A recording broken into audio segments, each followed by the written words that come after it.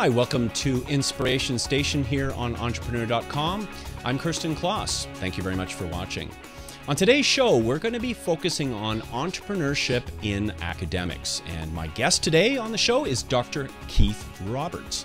Uh, Dr. Roberts uh, has been a leader in higher education for over 50 years, including university professor, university planner, researcher, and vice president of academics at Brigham Young University in Hawaii, before he became involved in international higher education.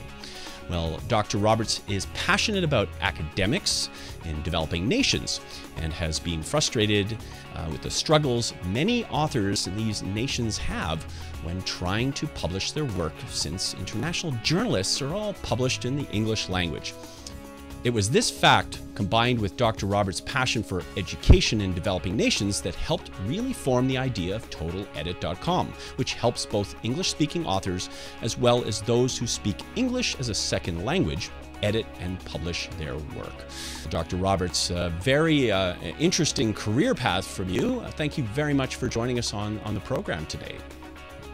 I'm pleased to be here, and thank you so much for your time also. Well, your editing solution services and, and your international education institution relationships uh, are impressive. Uh, can you explain how you took your initial idea and brought it to the international level? Um, yes, you know, all of all of my career, I have been interested in doing creative things and trying to have an impact in what what I do. From my very first job as a math professor, I I tried to get improvement in what I was doing. I, I got involved in, in uh, pro- projects that were funded by outside sources so we could do creative things. When I got into the university leadership position, I always was looking for ways to do things better. And these final years that I've been working as a consultant, I was impressed with the quality of work that the professors were doing in these developing nations. I've, I've been in uh, most of the nations in Asia and throughout the Pacific. And I noticed that uh, all of us in higher education, that includes those of us in, in the UK and in the United States, were missing the wisdom of these professors who were doing things but could never get them into the environment where they could be discussed and that that environment was the uh, publishing in international journals. Hmm. Well, Dr. Roberts, uh, so what is the overall most favorite feature that you, your clients uh, like about the Total Edit service? What, what they like about Total Edit service is that we provide uh, first language English speakers as the editors. See, when you're in a, uh, a country like China or Vietnam or Indonesia, there will be people on your faculty who will be in the Department of English, but they will be second language speakers. And so they will fall into the same traps that second language speakers have. There's just certain things that they don't quite do right when it comes to the written word. You're always best when you have a first language speaker, speaker as your editor. And we can do that now because of technology. Hmm. So we provide first language speakers as the editors. Hmm. And and how is Total Edit changing the way your clients write documents, basically? Well, one of the things it's enabling to, them to write documents. There's a reluctance. There's a reluctance uh, among scholars in these developing nations because there's a sense of pride, and and they know they don't get the English language right, even though their research is right, and so there's a reluctance to submit to journals that will reject them. And a downside of that is that there's a whole subset of uh, what we call predatory journals. These are academic journals that uh, aren't credible, that will solicit for money journal articles from people in developing nations. And so we want to provide the skills so that these people who really have something to say can say it to the people who will really listen, which are the, the, the folks who read the scholarly journals that are reputable. Hmm.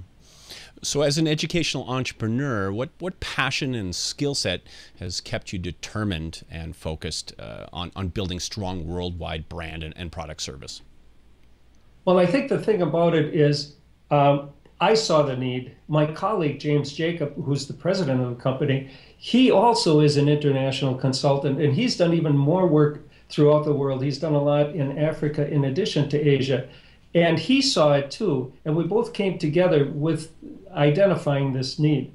And when we know there's a need, then we felt like we could satisfy that need. And, and so we do two things. One, we encourage people who maybe have not thought about publishing to publish. And then we support them in doing it. And I think that helps the quality not only of the professor, but it raises the status of the university where the professor works. So there's so, uh, a lot of incentive. Yeah, I'm sorry. There's a lot of incentive from the point of view of both the professor and the university to have meaningful publication. Mm. Well, and you've you've grown quite uh, quite rapidly. Um, how many how many clients do you have, and, and how did you manage this growth internationally? Well, well, our our clients we have um, we have clients in China that, in fact, our our um, our number one client in China is Peking University, which is the number one university in China by just about everyone's measure, and they have a, a the Peking University Educational Review, which is a journal that they have been publishing. We now are working with them, and they are publishing that journal in English. So the impact of that is all of all of the work that's being done in China in ed, higher edu- in education and higher education will now be available to the broader audience because scholarship and all of the scholarly activities in the United in the world right now are pretty much measured through English, read through English. So that's that's one of the important things we're doing in the case of China. And and by helping China, we're helping everyone because we're giving access to Chinese uh, scholars' work to people who don't speak Chinese. And uh, we have, and, and we also have um, uh, partnerships in Taiwan, we have partnerships in Vietnam, and we have quite a few partnerships in Indonesia because both uh, James Jacob and I have had experience in Indonesia. And there are you have to realize there are literally thousands of universities in, in these countries. Yeah, the market is huge. Um, uh, you know, I, I, like to ask this question of my guests um, here for entrepreneur.com because it is entrepreneurial. Um, if you could give one piece of advice to other entrepreneurs um, with all your experience in this international uh, realm, uh, what would that be? Okay, I would say be flexible. Be flexible listen to your client. Just listen to your client and be ready, ready to adjust what you're offering, adjust your product to meet what the needs are, not, not to force your preconceived idea into the market. Listen to the market, and, and the quicker you respond to it, the faster your, your company will grow or your idea will grow. Great feedback. Well, Dr. Roberts, thank you very much for joining us on the show today. It was, it was great uh, hearing you share your experiences. Thanks for joining us. You're very welcome, and I appreciate the time again. Thank you so much. Our guest today, Dr. Keith Roberts. Check out the website totaledit.com. Always an interesting uh, to research uh, some options for you.